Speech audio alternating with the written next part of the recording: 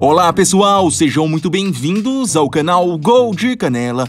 Se você é um caneludo das antigas, deve lembrar que lá no começo do canal eu fiz um vídeo falando sobre jogadores brasileiros com passagens esquecidas pela Premier League. Então, inspirado nesse vídeo, o Gol de Canela traz hoje algo parecido, mas agora abordando situações que aconteceram em clubes franceses. Confere só!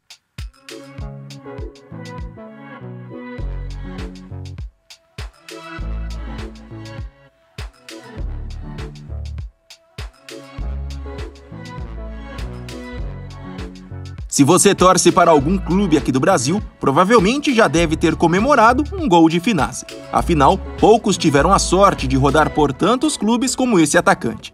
Brincadeiras à parte, fato é que Finazzi, ao longo de sua carreira, também já teve a oportunidade de jogar na França, mas poucas pessoas lembram disso. A situação aconteceu durante o ano de 2000. No alto dos seus 26 anos, o atacante, após se destacar por clubes como Gama e Goiânia aqui no Brasil, acabou sendo contratado em julho daquele ano pelo Sochaux, que na época disputava a segunda divisão do campeonato francês. Apesar de ter chegado na França com fama de goleador, Finazzi não conseguiu se adaptar ao estilo de jogo e principalmente ao clima europeu, e por isso pouco foi usado no Sochaux, ao todo, ao longo de um pouco mais de quatro meses, o brasileiro entrou em campo apenas cinco vezes e não marcou gol. Com isso, ainda em novembro de 2000, Finazzi resolveu retornar para o Brasil e tocou o restante de sua carreira. Aposentado dos gramados desde 2014, Finazzi tem hoje 48 anos e se prepara para a carreira de treinador. Multicampeão e considerado um dos grandes ídolos da história do Corinthians, Emerson Sheik também teve o seu momento de pouco brilho na França. Depois de alguns anos de destaque no Japão e principalmente no Catar com a camisa do Al Sadd, em julho de 2007, o brasileiro foi contratado pelo Rennes por cerca de 5 milhões de euros.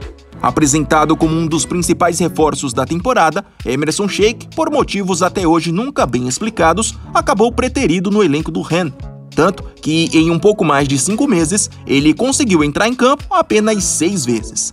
Logo, em janeiro de 2008, o brasileiro pediu para deixar o clube francês e retornou para o Al Sadd, comprado por cerca de 7 milhões de euros. Emerson Sheik tem hoje 43 anos e trabalha como comentarista esportivo em um programa de TV.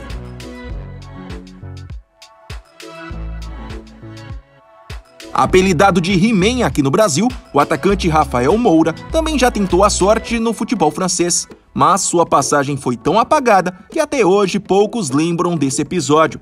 Em agosto de 2007, após se destacar com a camisa do Fluminense, Rafael Moura, na época com apenas 24 anos, foi emprestado ao Lorient da França. Contratado para ser o substituto de André Gignac, que pouco tempo antes havia sido negociado com Toulouse, o brasileiro, no final das contas, não agradou o técnico da equipe Christian Gourcuff e durante toda a temporada 2007-2008 teve a oportunidade de atuar apenas duas vezes. Diante desse cenário nada favorável, em julho de 2008, Rafael Moura deixou o clube francês e retornou para o Brasil. Ele hoje tem 38 anos e ainda não anunciou sua aposentadoria dos gramados, porém, nos últimos meses, está se dedicando a outro esporte, no caso, o beach tênis.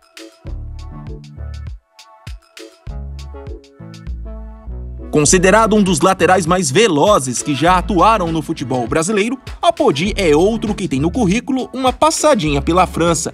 Após passar por Querétaro e Delfines del Carmen, ambos clubes do México, em julho de 2014, Apodi foi anunciado como novo reforço do Bastia, que naquele momento disputava a primeira divisão do campeonato francês. Entretanto, para a surpresa de muitos, a passagem do brasileiro pelo clube francês durou apenas um mês, uma vez que o Querétaro, equipe que era dona dos direitos de Apodi na época, não entregou os documentos necessários para a conclusão oficial da negociação. Dessa forma, sem nem entrar em campo, Apodi teve que deixar o Bastia e retornou para o México. Já com 35 anos, o lateral segue hoje sua carreira normalmente aqui no Brasil, defendendo as cores do Goiás.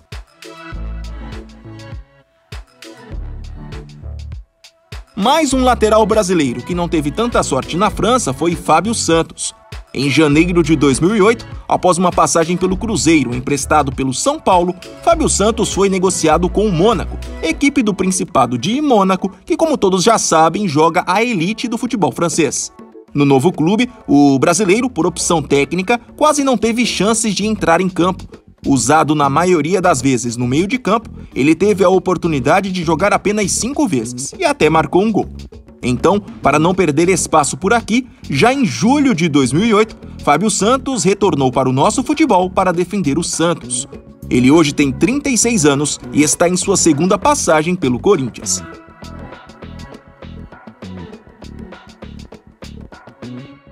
Após se destacar no Rio Branco de Americana, em julho de 2004, o atacante Thiago Ribeiro, na época com apenas 18 anos, ganhou as principais manchetes futebolísticas aqui do Brasil ao ser negociado com o Bordeaux, equipe da primeira divisão francesa.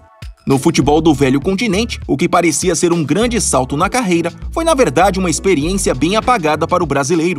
Sem grandes chances no time titular do Bordeaux, Thiago, durante toda a temporada 2004-2005, entrou em campo apenas seis vezes, e isso foi crucial para sua saída do clube já em julho de 2005. Naquela época, ele resolveu retornar ao Brasil após receber uma proposta para jogar no São Paulo. Thiago Ribeiro tem 36 anos e agora em 2022 está em sua segunda passagem pelo Londrina.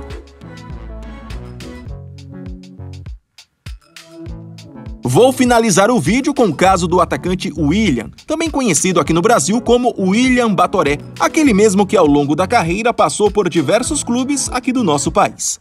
Pois bem, talvez poucos lembrem, mas em 2008 ele teve sua chance na França.